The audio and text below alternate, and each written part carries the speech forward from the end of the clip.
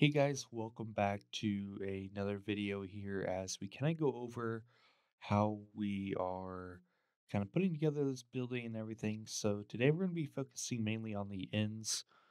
Um, so like getting the end wall up and you know making the hole for a door and stuff like that. So do apologize for the amount of time it's taking between each video segment. Um, it's not necessarily the videos take forever. It's more of finding time to sit down and uh, record the video and do all that. So uh, just right now, it's been busy part of the year, so I'm just trying to get through it. Um, I'm hoping to get all this done before I go back home for the summer, and then I don't have to deal with it anymore. So uh, might try to ramp it up in the next couple of weeks. We'll see. So, but anyway, um, so this is where we left off in the last video. I will link that.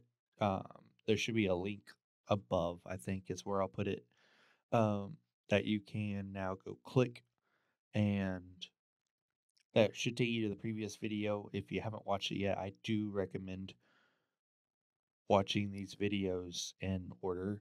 Um, it will help a lot more than just watching from video four to video one to video three to video two or some other order like that. So uh, it definitely will work out a little bit better that way. So I recommend you do that. So, but with that, we will go ahead and get started here. So, uh, we do have our uh, apron on this side. So this is the side that we will have a shop door on. Um, so what I'm going to do is just go here and we're going to steal this little beam. I'm actually going to make it the red iron color we need. And then I'm just going to Shift D to duplicate it. And we're just going to slide it over here. Then what now I'm going to do is I'm going to click on this bottom face, or I'm going to tab into edit mode, then click on the bottom face. I'm going to go Shift S2. It's going to put the cursor right on that face. I'm going to right click, set origin to 3D cursor. What that's going to do is put it dead center in the bottom there. And then I can go on the y axis here and go 90 degrees, and that will stand it upright. Just like that. And then we're going to hit uh, rotation and scale to set that. That way, so then everything is perfectly how it should be and not having to deal with any weird issues. Then I'm going to go and go in edit mode on our slab. I'm also going to do Shift S2. I'm going to go back to our pole here and hit snap to cursor. Okay, so that will then line us up perfectly with uh, the bottom or right on the slab of concrete. It's the same height and everything like that. And then now what we're going to do is just kind of look here and try to get this edge of this kind of lined up with these support posts here. That looks fairly decent. So um, you will have a little bit of room that you can kind of play when it comes like adding in the metal. Or if you decide to wall in uh, the inside, then you definitely have a little bit of room to play to where like if you don't have something lined up perfect, you can. Um, I do recommend just trying to line it up as good as you can though. Definitely helps in the long run. So oops. Um, so right now we're sitting at zero feet in this sense. Um, so what we're gonna do is make this about a 25 footish wide door. So we're gonna go negative 12 and a half as it is what 25 divided by 2 is. And then we're gonna set it offset from the axis. So that was in the center of the door is right at zero. Um, hopefully 25 feet will be enough here. We might take it 30. We'll just take it at 30 to be safe. So we'll take it at negative 15. And right now, so right now we're sitting at uh, 17.3 feet. So I do want to make that a little bit taller. So I'm going to take it up to, do, do, do, do, we'll go 25 feet. I think 25 will look decent. Um, so we'll put that there. And then what we're going to do is shift D, or yeah, shift D. And then we're just going to go up here and change this to negative or to positive 15. That's just going to put the post on the other side of our x-axis there, or yeah, our x-axis there. So um, that will be kind of where our shop door will go. Um, I haven't quite decided how I want to design that quite yet, but I'm kind of going by this by the just however it kind of comes type of deal. So, um, so the next thing we're gonna do is we're gonna put a bar across the top here. So I'm just gonna highlight or Shift D another uh, pole here, and then I'm gonna go uh, and click on the face here. We're gonna shift S2. We're gonna go to set origin 3D cursor. And we're just going to rotate it back another 90 degrees here. Obviously, it lays like that. We'll go Control A to set rotation and scale. We're just going to set this to zero here. And then we should be 20. Uh, we're going to make it a little bit wider that way so we can kind of picture where it's ma matching up here a little bit better.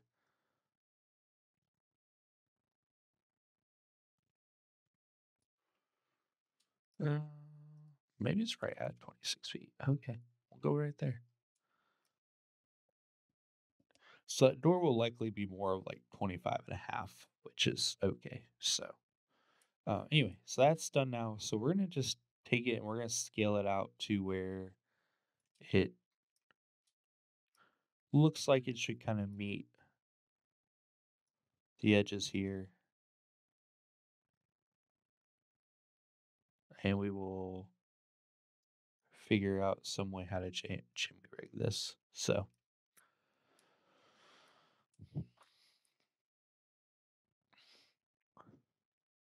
um, now remember, I am not a professional iron worker.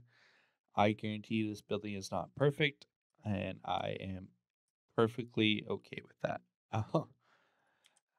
A lot of my buildings are not perfect, and I will be the first one to admit that. That is just how it is. So anyway, so we're gonna go here and put a support bar right here in the middle. We're gonna narrow it down. We'll make it just kind of disappear into the truss here.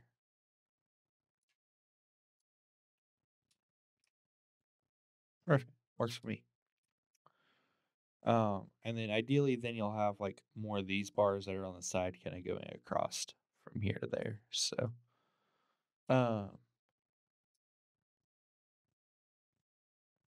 trying to think if there's anything else we need bigger steel columns for here. I mean, technically they're not bigger because they're the same size as these, but you guys get the point. Uh, so what I'm going to do is actually go here and I'm going to go, how do I want to do this here? Uh, we'll go Alt C to turn on like our X-ray mode. I'm gonna highlight that stuff, highlight that stuff, highlight that stuff. I'm not trying to get any other faces other than those that I selected. I'm gonna hit Shift D to duplicate that mesh, and then I'm gonna hit P or I hit selection. So that's gonna split that mesh up into different sections. So now that this bar is completely just by itself over here, uh, it's not being uh, attached to any mesh. So that's also a good way of uh, if you already have things in a mesh, that's a good way to split it up so you can use it again. I use it all the time of if I forget to like set one off to the side. Uh, that's that's exactly how I go about getting another one. So um, that needs to be negative 90. Perfect. We're just going to try to line this up somewhat here. We're going to have to kind of just mess with uh, how we kind of approach it here to get it to line up right, but we'll get there.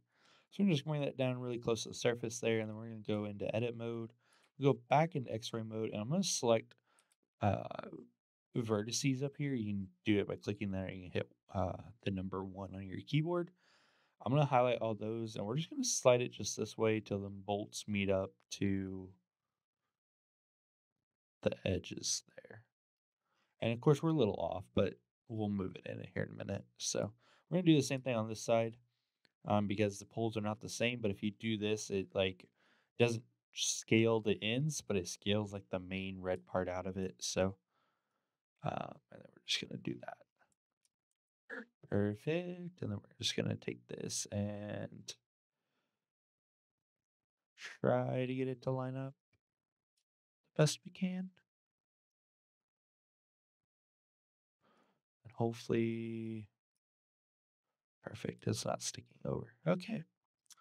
That is kind of how I do that. And then I just kind of, I'm to go here and duplicate it. And then I'm just going to try to scale off to these edges the best I can as far as to try to get everything as level as possible with its counterparts here. That one can go up just a little bit. And then we'll go Shift D. Ideally, I could probably copy that entire span of holes, but uh, this is more of a beginner uh, way to do it. So I figured, come on. There we go. Figured we just do it this way. Um, like I said, it's a good learner way on how to get stuff set up. So plus we'd have like to deal with this issue here. So uh, go here make sure this is leveled out right. There we go. And then we will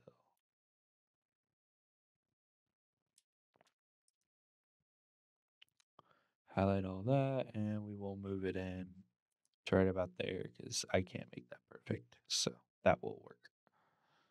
Okay, so that is that side done. And then what I'm going to do is I'm going to actually duplicate one of these and just slide it out. That way so we don't have to like pull it out of a mesh early, like later like I had to earlier. I'm just going to go in and select all of these. And you can hit join on these because they are not like touching each other per se. Uh, they're just kind of here. And then what I generally try to do is I will go into the or like a point that I know is the center. So like this line on the slab, and I'll hit Shift S2 to bring the cursor there. I'll go here and set the origin cursor to there. I'm gonna hit rotation and scale. I'm gonna go to modifiers, add modifier, and mirror. I'm gonna hit mirror across the y-axis, get rid of the x-axis, and that's gonna perfectly mirror across that point. That is what it did. So um, now we have that done. So now we need to go and work on the backside, and then we will be getting pretty close to being done besides uh, roof girders here. Uh, but we are at about 13 minutes now, I think. So uh, we're just going to kind of roll with the flow here. So we're going to line this up about as good as we can. Um, go over here and make sure it's lined up. Actually, we need to rotate this 190 degrees. That way, then the tab is facing the other way. There we go. Okay. I'm going to go into edit mode again and I'm going to select all these faces. And we're just going to drag it down to this other pole here. And try to get it to match up. Perfect.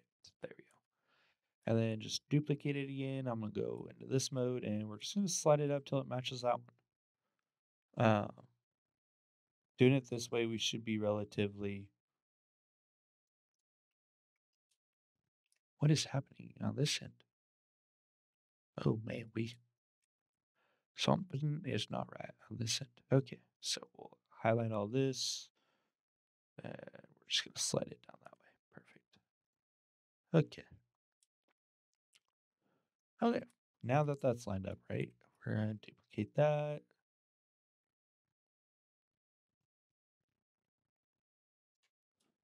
Uh, we can bring it down a little bit here.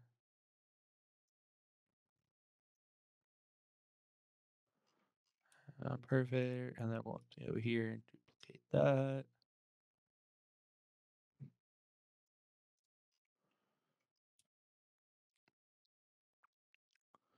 Perfect. And then I think what I'll end up trying to do here is we'll put like a column just right down the middle there.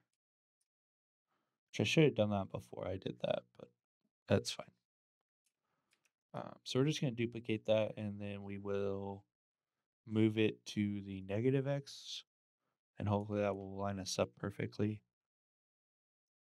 Maybe if it wants to. Yep, there we go.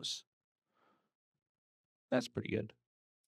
And then we're just going to go here and switch into face mode. Just like that one. And we are going to take it down to the surface. Or to the slab, I guess. Dun, dun, dun. There we go. Magic. And then what how I'm gonna fix this is I'm gonna select all of these. and we'll go into edit mode. Uh, go back to vertices. Highlight all those. We're just gonna slide it this way. This will be the easiest and best way to fix this. So that I don't do it again. So anyway, that is done there. I'm gonna once again duplicate this and just slide it out of frame here. We don't really need it, um, but I will likely use the same design for our against or our cross truss above. Um, so that is that. I'm going to go here and uh, and join all these, and then we're gonna go Control A and set rotation scale. And we're gonna hit set origin to 3D cursor. Go to our modifiers, mirror across the y-axis. Boom, and magic. So anyway, um, I think that's gonna wrap this one up, guys. Like I said, I apologize for the amount of videos that it's taking for me to get all this done, but I just haven't had uh, a ton of time that I wish I would have to be able to get this done. Um, but I'm hoping to try to get rolling on a little bit better here. Um, but anyway, so hopefully the video helped. If it did, please consider leaving a like and subscribe to the channel. Um, I try to monitor the uh, YouTube comments as much as I can, but the best place to reach me is in the Discord, which will be in the link tree link in the description. Um, but once again, guys, thank you for watching. And if you haven't hit that subscribe button, we'll see you again next time.